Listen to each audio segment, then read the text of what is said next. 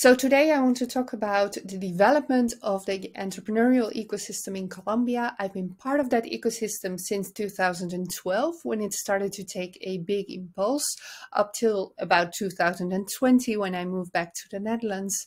Now that I've taken some time and taken some distance, I can probably get to a couple of different opinions and different insights and hopefully those will be useful to you if you're trying to build an entrepreneurial ecosystem in your town or your country.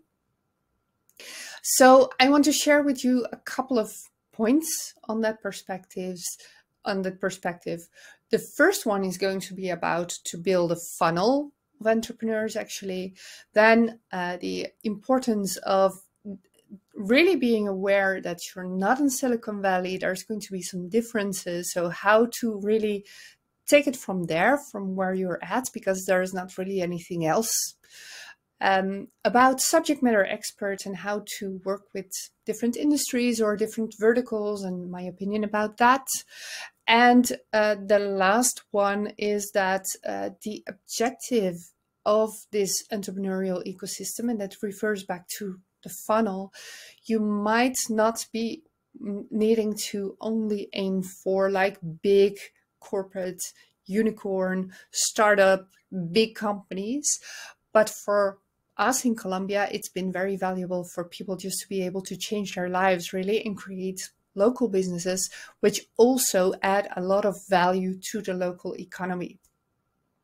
So let's start with the first one. So the funnel. So entrepreneurship is always going to be a funnel. And when you get to the start of the funnel, then um, you need a lot of entrepreneurs coming in. And entrepreneurship is really a skill. So the more you can get into that and colombia for example is a very entrepreneurial country but it's very necessity based entrepreneurship.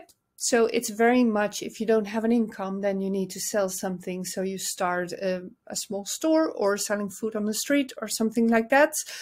Well that is something that those entrepreneurial skills and that type of creativity is very fertile ground if you want to move on to opportunity based entrepreneurship. So that's something to stimulate and to really take good care of because that entrepreneurial skill can if you combine it with the right subject matter expertise if you combine it with the right uh, uh, people who can actually create something innovative you can really do magic there. But you need a lot of people coming in. So it's always going to be a funnel. So early stage is going to be a lot of people, hopefully thousands of teams coming in with their idea. It might not be much yet, but still they have an idea. And then getting to product market fit, there's going to be less. And building their business, creating their business model and setting up their project is going to be less. Those who are going to receive investment from angel investors, venture capital are going to be less.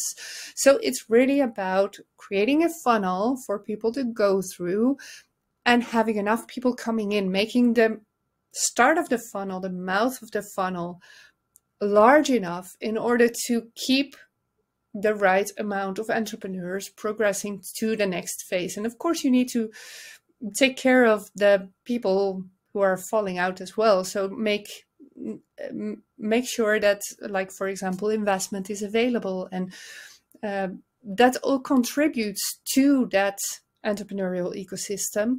Making sure enough people that are coming in is also contributing a lot.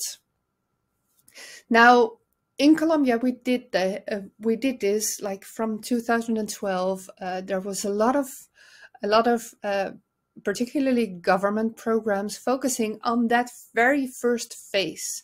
Now, those might be people setting up bigger companies, but there might be a lot of people just trying out if this entrepreneurship thing is something for them. And then finding out that it's not and they prefer employment. Now that's fine. You need enough people to come in. And those who are going to create the unicorns might not be at the start of the funnel, but they become visible towards the end of the funnel. Now that's fine because if you're taking care of each part of the funnel, for those people, it will also be easier to find what they need for their phase of their idea. So it's really about building a funnel where, where people can come in and go out, maybe get back in or something like that, where there's a lot of mobility and people can uh, find a lot of opportunities for wherever stage of their business they're at. Now, second, it's very important to realize it's not Silicon Valley. Um, in 2012, this was really just starting, and by now there's a lot of a lot more investment around. Uh, people know more about startups. Like the whole industry has grown, and that's a very good thing. But still, this is a country where you need to, where just like money is not laying around. You need to get to results and you need to get to some sort of business model really quite fast. And it's important to realize that in the focus of the idea, just to make sure that there's a certain perspective, there's a of course there's a vision and an innovation around, but there's also a perspective of how to survive on the short term. Because that's what you need when you're in this type of environment. So very important to, to realize that. Now, how do you do that? Basically, what we've seen is that subject matter experts are very important. Uh, it doesn't really matter what kind of expertise, but any sort of expertise and the ability to kind of identify an opportunity within that specific sector will do to create a good business. They might not be unicorns, it might not be like the next Facebooks, but sometimes there's, for example, a psychologist who uh, specializes in child abuse who can do wonderful things building a, a game for like children to identify situations that are vulnerable to abuse and sell that to like uh, uh, child protection services. That might be a very good business. Um, there's like uh, platforms touristic touristic platforms that might be a very good business very locally but they might do very well. So you need a certain subject matter expertise and when you can identify an opportunity within that field it's very easy to build a business model upon that. So business to business, um, focusing on very specific areas is very much more fruitful than having a general business, a very broad business or a very innovative business, and then teaching everybody what it's about. So you need to get to that subject matter expertise and that will help you to overcome like the obstacle of for example investment just creating a business model that works in a medium term um, and a way to survive on the short short term also now the last one is about um, what should be the aim of this uh, um, this funnel, this uh, process that entrepreneurs go through, really. So uh, we found that yes, there's a couple of entrepreneurs who will get into Y Combinator, and there's a couple of entrepreneurs who will go ahead and create uh, a unicorn or something that is very close to a unicorn. But more than that, like the very start of that funnel, the people who come in, first they get a chance to figure out if entrepreneurship is for them or not, and it might not be.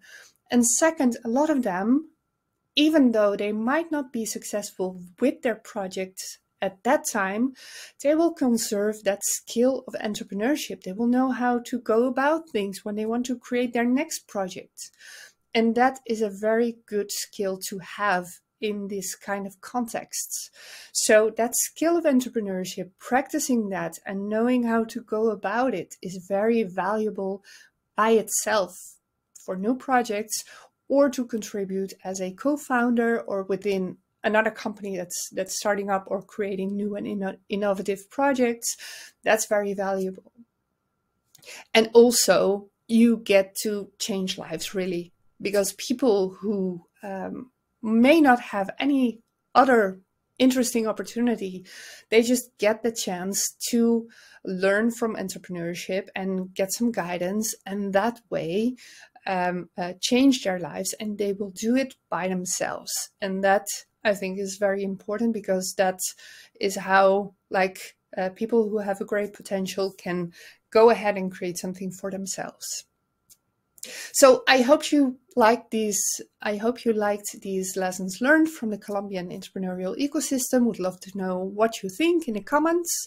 Um, and of course, if you're interested in more contents about entrepreneurship and innovation, please subscribe to this channel and I'll see you at the next one.